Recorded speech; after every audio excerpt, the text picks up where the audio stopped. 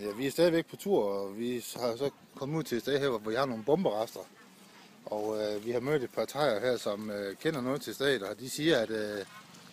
hele det område her, det har været øh, jungle, hvor der har været elefanter og tiger og alle mulige dyr, men der var, da 2. verdens, øh, hvad hedder det, Vietnamkrigen kom, da de amerikanske flyver, de kunne ikke komme til at lande med, med, med bomber, der ikke var, var sprængt, så, så der brugte de det område her. Kører til ned, men boleh bolivian ที่เขาเอาระเบิดที่ยังไม่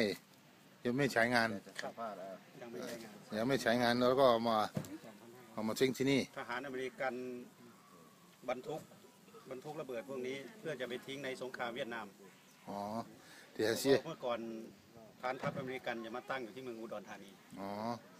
I uh, Vietnamkrigen der havde den amerikanske base en, uh,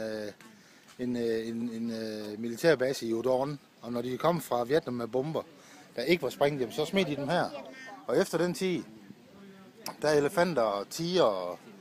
alle sådan specielle dyr, de, de, de, de måtte jo forlade i området her, for de kan simpelthen ikke være her. På grund af bomber, bomberester. Så der ligger sådan en lille historie bag ved det her. Og vi siger, kop kun mark.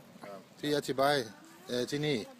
Ben Bolivian eller Yang Lai. Lam nej, det er med det ting. วณอะไรอย่างไรลำไหนที่ไม่ได้ทิ้งเครื่องบินลำไหนที่ไม่ได้ทิ้งก็เอามาปล่อยทิ้งที่นี่เอามาปล่อยทิ้งที่นี่ เพราะลงไม่ได้ โยนลงมาได้ครับครับลงก็กลัวระเบิดกระแทก